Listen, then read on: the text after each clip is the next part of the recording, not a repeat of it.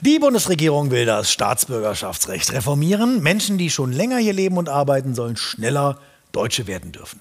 Wirtschaftsvertreter begrüßen das, aber die Union und Teile der FDP sind dagegen. Deutscher Pass für alle? Nein. Je mehr den Pass haben, desto weniger ist er wert. Halten wir fest, Union und FDP sind gegen Wirtschaftsinteressen. Was ist da los? Ein Fehler in der Matrix? Der aktuelle Stand ist ja der, Erwachsene müssen acht Jahre in Deutschland leben, bevor sie eingebürgert werden können. Sie müssen natürlich erstmal so gut integriert sein, dass sie die wichtigsten, die zentralen deutschen Sätze beherrschen. Erstens, ich muss noch meine Einfahrt kerchern.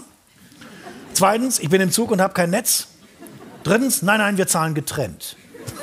Das muss man erstmal können dann kann man Deutsche oder Deutscher werden. Deutschland und die Einwanderung, es ist eine Geschichte der Missverständnisse. Schauen wir uns das nochmal genauer an. Hefte raus, Einwanderungsgeschichte. Es gab eine Zeit, da wollte Deutschland seine Staatsbürgerschaft sehr großzügig verteilen und viele Menschen zu Deutschen machen. Leider hat man das vor allem mit Weltkrieg probiert. Das äh, war aber nicht erfolgreich. Der Versuch wurde abgebrochen. Nach dem Weltkrieg gab es ein Wirtschaftswunder, weshalb man viele Arbeitskräfte brauchte, die aber fehlten, weil eben viele Menschen tot war wegen Weltkrieg. Und deshalb gab es schon 1955 ein Anwerbeabkommen, um sogenannte Gastarbeiter aus dem Ausland hierher zu holen. Zunächst mal Italiener.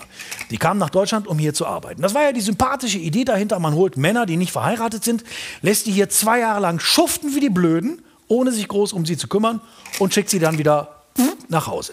Das ist die deutsche Version der Gastfreundschaft. Das sind die drei A. Ankommen, Arbeiten, Arschtritt. Und es kam mit der Zeit immer mehr. Es kamen Italiener, aber auch Griechen, auch Spanier, auch Portugiesen. Sehr massiv wurden ab 1961 Türken angeworben. Die kamen sehr zahlreich und die Türken haben ja hier wirklich die dreckigsten und härtesten Jobs gemacht, die Deutsche nicht machen wollten, was ein prominenter Türke aufgedeckt hat. Bis sich herausgestellt hat, das war gar kein Türke, das war Günter Wallraff mit einem Schnäuzer aus dem Karnevalsbedarf, weil die Türken zwar jeden Job machten in Deutschland, aber den Job, ihre Lebensbedingungen selbst beschreiben zu können, den traute ihnen keiner zu. In den 70er Jahren kam die Ölkrise. Die Wirtschaftslage wurde schlechter, man stoppte die Anwerbung von ausländischen Fachkräften nach Deutschland. Kam man dann eigentlich nur noch durch Asylverfahren, wobei zum Beispiel Menschen aus Afrika hier wenig geholfen wurde, Tritt zu fassen, in die Gesellschaft aufgenommen zu werden. Was dann auch von einem afrikanischen Einwanderer aufgedeckt wurde. Es war aber wieder nur Günter Wallraff, der das Aufdecken lieber selbst gemacht hat, bevor es ein echter Afrikaner noch vergeigt. Immerhin haben wir festgestellt, Weiße mit Schuhcreme im Gesicht werden in Deutschland diskriminiert. Heute fehlen Fachkräfte an allen Ecken und Enden. Der demografische Wandel wird das noch mal verschärfen. Das muss man mal ganz klar so sagen. Wir werden unseren Wohlstand ohne Einwanderung nicht halten können. Und deswegen will es die Ampel vereinfachen. Nach Deutschland zu kommen, Abschlüsse sollen anerkannt werden und die deutsche Staatsbürgerschaft soll bereits nach fünf Jahren beantragt werden können. So wie es auch in vielen anderen Ländern üblich ist. Die Wirtschaft ist, wie gesagt, dafür, die Union ist dagegen. Zum Beispiel Alexander The Brain Dobrindt, der davor warnt, die deutsche Staatsbürgerschaft zu verramschen. Oder Friedrich Blackrock Merz, der lieber ausländisches Geld in Deutschland arbeiten sieht als ausländische Fachkräfte, die dann auch noch unsere Staatsangehörigkeit wollen. Viele sagen, für diese Angst vor der Einbürgerung gibt es überhaupt keinen Grund. Aber das ist falsch. Es gibt einen Grund, denn was keiner weiß. Außerirdische sind im Oktober im Konrad-Adenauer-Haus gelandet und haben die Gehirne von Unionspolitikern auf das Jahr 1999 zurückgestellt. Deswegen hören wir auf einmal wieder den Sound von früher, wie bei Jürgen Rüttgers. Der war mal Zukunftsminister und dafür zuständig, dass im Jahr 2000 für die beginnende Digitalisierung in Deutschland Fachkräfte kommen sollten. Aber Rütters hat gesagt, nee, nee, das machen wir anders. Ein Christdemokrat im Wahlkampf. Jürgen Rüttgers hat sein Thema entdeckt. Kinder statt Inder. So will er den akuten Mangel an Computerexperten beseitigen. Das ist der Grund. Die Union ist wieder auf Windows 98 zurückprogrammiert. Wir befinden uns gerade in der Zukunft von Zukunftsminister Jürgen Rüttgers der, wie man weiß, dann keine so große Zukunft mehr hatte. Wir befinden uns in der Zeit des hessischen Ministerpräsidenten. Wie ist der nochmal? Lieber Roland Koch, liebe hessische Freunde. Genau. Roland Kotzkoch und seine hässlichen Freunde. Da gab es damals in Hessen diese Unterschriftenkampagne, die Älteren erinnern sich, bei der man gegen die doppelte Staatsbürgerschaft unterschreiben konnte, was bei einigen gut ankam. Es hat schon nichts gegen die Ausländer, aber irgendwo muss gut sein. Und wählen bei uns schon mal gar nicht. Ja, Wenn ich in die Türkei gehe, darf ich auch nicht wählen. ja, das ist richtig. Ja, ist doch so. Ich finde das eine absolute Schweinerei, was hier läuft. Wenn da so viele Türken hier in Limburg, das gibt's ja bald nicht wieder. Und diese Stimmung, die uns Deutsche bei ausländischen Fachkräften so unendlich beliebt macht, die will die Union wieder entfachen. Natürlich, um Wählerinnen und Wähler zu generieren. Leider wählen die Menschen aber bekanntermaßen lieber das Original. Also kann die Union schon mal anfangen, sich eine Erklärung zurechtzulegen, warum ihre Strategie wieder mal nicht aufgegangen ist. Ich meine, im nächsten Jahr ist ja zum Beispiel Landtagswahl in Bayern. Toi, toi, toi. Das war der Schnellkurs Einwanderungsgeschichte. Vielen Dank für Ihre Aufmerksamkeit. Wir brauchen Fachkräfte. Ne? Wir brauchen dringend Fachkräfte und es ist beileibe nicht so, dass alle nur darauf warten, zu uns nach Deutschland zu kommen. Kanada ist beliebter, die USA sind beliebter, Australien ist auch beliebter. Aus unterschiedlichsten Gründen. Es ist die Sprache, es ist das Wetter, es ist auch die deutsche Willkommenskultur. Natürlich bekommt man anderswo mit, dass hier immer mal wieder als fremd gelesene Menschen bedroht oder angegriffen werden. Deutschland ist eben ein Land, in dem man auf Fremde zugeht, leider oft mit Schlagstöcken. Außerdem sind Vorurteile und Alltagsrassismus viel zu weit verbreitet. Das merkt man überall. Und ich begrüße nun zu diesem Thema Maike Kühl. Sie ist Sachbearbeiterin für ausländische Fachkräfte auf Bundesebene. Herzlich willkommen, Frau Kühl. Frau Kühl, spielen wir es doch mal durch. Spielen wir es doch einfach mal spaßeshalber durch. Also ich bin jetzt mal Ingenieur, sagen wir mal, aus Mexiko. Und ich bin interessiert daran, in Deutschland zu arbeiten. Also Sie wollen sich bei mir bewerben. Quasi. Ja, dann sollten wir aber die Plätze tauschen, oder? Warum? Gehe ich doch mal auf den Chefsessel hier, oder? Hier, hopp.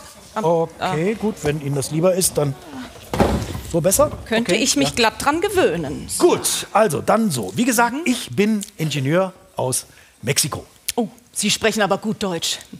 Ja, das ist jetzt nur für den Sketch. Also eigentlich spreche ich Spanisch. Ich spreche aber auch sehr gut Englisch und Französisch.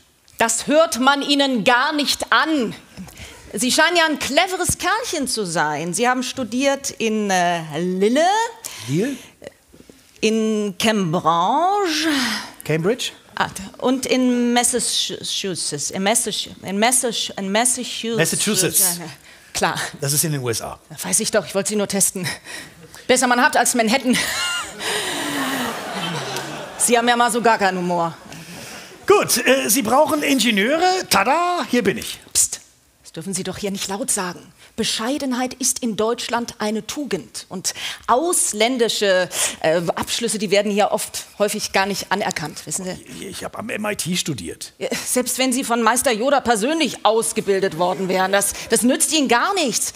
Haben Sie denn nicht noch irgendwas anderes zu bieten? Hier einen deutschen Großonkel mit mittelständischem Unternehmen, sowas? Nee, das nicht. Ich kann auch programmieren. Und ich habe an der Uni mal ein Jahr lang Schwedisch gelernt. Schwedisch, perfekt, Mensch, da habe ich doch hier ein Jobangebot für Sie in einem schwedischen Möbelunternehmen in Dresden. Als Ingenieur? Nee, als Küchenhilfe in Teilzeit. Billy-Arbeitskraft sozusagen. Äh, apropos Teilzeit, Sie sind doch verheiratet. Äh, Ihre Frau, was kann die denn so? Die hat Medizin studiert und arbeitet gerade an ihrer Doktorarbeit. Kochen. Bitte? Was kann Ihre Frau so kochen? Ja, Köttbullar sind ja quasi ein Softskill. Dann könnte ich sie vielleicht gemeinsam vermitteln, ja? Kommt Ihre Frau denn auch aus äh, Mexiko? Nein, sie kommt aus Kanada. Ihre Eltern sind angolanische Einwanderer. Oh, ärgerlich. Ah, schade, schade, schade. Also für People of Color läuft es in Deutschland oft nicht so gut. Also die sollten hier schon gut laufen können. Äh, Vor allem schnell. Und weit. Ja, aber sehen Sie, das ist jetzt der Punkt. An der Stelle frage ich mich jetzt wirklich, mal als ausländische Fachkraft, warum tue ich mir das an? Ich bin hochqualifiziert, ich bin aus dem Ausland, ich habe Berufserfahrung, Auslandserfahrung, alles. Sie sprechen wirklich so gut Deutsch. Das mache ich doch jetzt nur, damit der Sketch funktioniert. Meine Güte. Warum ist das denn auch so wichtig?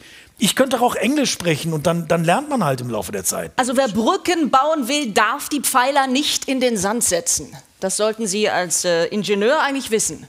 Ich weiß vor allem wieder, warum Deutschland nur meine vierte Wahl ist. Äh, Also wählen dürfen Sie sowieso nur mit deutscher Staatsbürgerschaft. Ja, und wann könnte ich die beantragen? Also, ich weiß noch nicht, ob ich sie haben will. Also ich höre hier immer nur haben, haben, haben.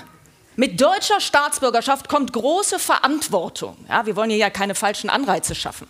Ihr Problem ist, dass Sie überhaupt keine Anreize schaffen. Deutschland fehlen rund 560.000 Fachkräfte. Wie wollen Sie den Laden hier denn überhaupt am Laufen halten? Laden, da kommen wir doch noch auf eine grüne Zweigstelle. Hier Regale einräumen im Bioladen. Ja, und wenn Sie dann als Ingenieur unbedingt mal eine Schraube nachziehen wollen, da, da sagt bestimmt keiner was. Also da sind wir in Deutschland eigentlich sehr entgegenkommend. Ja, das merke ich auch. Vielen Dank, Maike Kühl. Leute, eine ganz große Bitte. Nicht hier klicken, denn dann kommt gleich das nächste Video von uns. Und hier bitte erst recht nicht, denn dann habt ihr, zack, den Kanal abonniert und ganz gefährlich, die Glocke. Dann verpasst ihr nichts mehr von Extra 3. Ihr kommt aus dem Lachen nicht mehr raus. Ihr vernachlässigt eure Hobbys, verliert euren Job, keine Freunde mehr, keine Freundin, sozialer Abstieg, Trennung, Privatinsolvenz.